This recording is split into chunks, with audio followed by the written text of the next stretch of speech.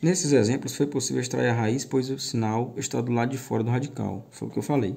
Se esse sinal está do lado de fora do radical, ele permanece no resultado. Agora, se esse sinal está dentro do radicando e o expoente, o índice for par, por exemplo, aqui é raiz quadrada, aqui eu sei que é 2. O índice é par. Então, esse número de não pode vir negativo.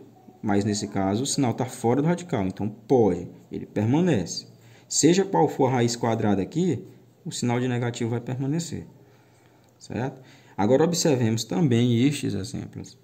Temos aqui a raiz quadrada, olha aqui, temos aqui a raiz quadrada de menos 5 elevado ao quadrado. Olha, dentro do radicando, eu tenho uma base negativa elevada a um expoente par. Como é que eu posso resolver isso? Olha aqui. Quanto é, que é, quanto é que é menos 5 elevado ao quadrado? Ó, base negativa, expoente par. Vai ficar raiz quadrada de 25, certo? De 25 positivo. Base negativa, expoente par, resultado positivo. E a raiz quadrada de 25 é 5. A mesma coisa aqui, ó. Raiz quarta de menos 2 elevado a 4, que expoente é par. Olha aqui. Quanto é que é menos 2 elevado a 4? Expoente par, eu sei que o resultado vai ser positivo.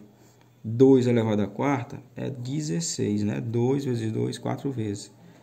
E a raiz quadrada de 16, gente? Opa, raiz quadrada não, raiz quarta. Tá aqui o 4. Raiz quarta de 16 é 2, né? Por quê? Porque 2 elevado a quarta é igual a 16. Beleza? Nesses exemplos, foi possível extrair a raiz, pois apesar de o sinal estar do lado de dentro do radical, ou seja, estar no radicando, ele será retirado quando determinamos a potência requerida, certo? Por que, que nesse caso é permitido? Porque ele veio entre parênteses, ele faz parte da base.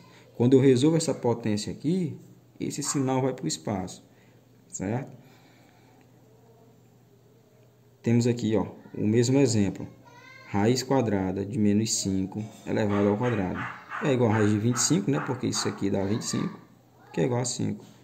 E a raiz quarta de menos 2 elevado a quarta é a raiz quarta de 16, como eu falei, que é igual a 2. Certo? Note que depois de calculada a potência, o radicando ficou positivo. Se o índice for ímpar, agora está aqui, ó. se o índice for ímpar, esse númerozinho aqui for ímpar, 3 por exemplo, raiz cúbica de menos 27. O número existe em números inteiros, pois menos 3 elevado ao cubo, né, ao índice, é igual a menos 27. Certo? Então, nesse caso, é permitido, gente.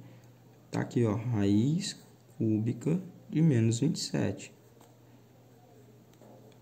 Isso aqui é a mesma coisa que eu pegar, ó, menos 3 elevado ao cubo, que é igual a menos 27. Por quê? Porque vai ficar menos 3 vezes menos 3 vezes menos 3. Faz o jogo de sinal aqui, ó. Menos por menos por menos é menos. Menos por menos mais, né? Mais por menos, menos. 3 vezes 3, 9. 9 vezes 3, 27. E 27 aqui é o radical. Beleza? Então, quando esse expoente é ímpar, permite o radicando ser negativo. Quando for par, ele só pode ser positivo. Lembrete. Tem aqui o lembrete. Temos o índice 2 par. Temos o radical e temos o radicando 9, que é um quadrado perfeito, cuja raiz é 3. É possível calcular a raiz de números inteiros negativos apenas, apenas, tá aqui a condição, quando o índice for ímpar. Quando esse, quando esse númerozinho aqui, ó, que fica acima do radical for ímpar. Se não for ímpar, não permite. Por exemplo, a raiz cúbica, né? Raiz cúbica de menos 8 existe. Por quê? Porque é menos 2. Se eu multiplicar menos 2 três vezes por ele mesmo, vai dar menos 8.